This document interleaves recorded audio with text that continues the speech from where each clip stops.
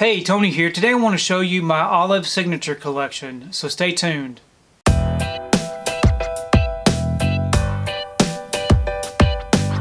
So a few months ago I came across a title that I saw that was being released. Um, it was called A Bucket of Blood.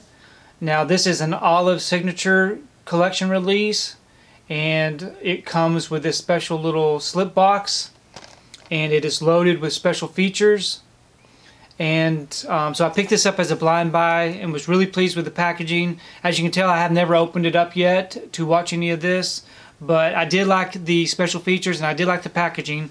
And recently I noticed that there was another new release um, with um, John Wayne and Maureen O'Hara, and I picked this one up and noticed that it was in the same similar packaging. So um, when I noticed this, I decided I was going to go ahead and just pick up the whole line of films most of these are blind buys. I've never seen them before, even these two that I, uh, that I just showed. But I did get some um, all the titles except for one. I believe that is really hard to find. But I did get The Night of the Grizzly. These are older films, of course, but loaded with special features. High Noon.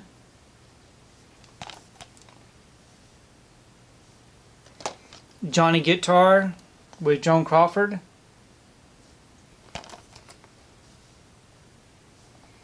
The Bells of St. Mary's with Bing Crosby.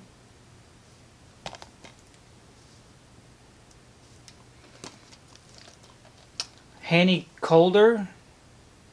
I believe that's what that Hannie Caulder with Raquel Welch. Operation Petticoat.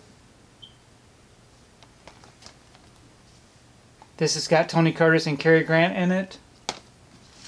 And then we have Macbeth with Orson Welles. And as you can see, just loaded with special features. Um, Letter from an Unknown Woman, which I've never heard of. Father Goose.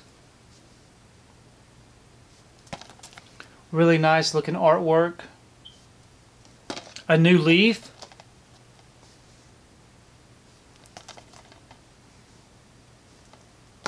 Bound. Of course, this is um, an older film that I've never seen, but not as old as some of these other ones, of course. Invasion of the Body Snatchers. Really nice looking artwork and packaging. And then lastly, I have Hair.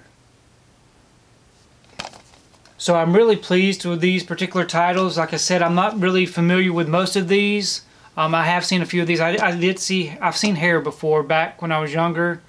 I remember seeing that maybe at school or something. I can't remember where I saw it at. But I've heard of Father Goose. Of course, I've heard of Macbeth. But, um, and Invasion of the Body Snatchers. But I really do like the packaging on these. These were all available from Amazon. I did have to pick up a few from Deep Discount. Also, to take note, these all do come in these clear um, Amaray cases.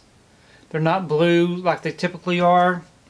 So I'm very happy to have all of these in my collection. Please leave me a comment below. Let me know if you've seen any of these movies and what your thoughts are about them. And also let me know if you've ever picked up any of these Olive Signature releases. I really do enjoy reading your comments. If you like what you saw here today, please give it a thumbs up and share the video. If you haven't subscribed to my channel, I really appreciate it if you subscribe. If you do subscribe, please remember to hit that notification bell so that you can be notified every time I upload a new video. If you haven't found me on my social media accounts, I'm on Facebook, Twitter, and on Instagram. And if you'd like to find out what I've been watching, you can find me over on Letterboxd. But thanks again for watching, and we will see you next time.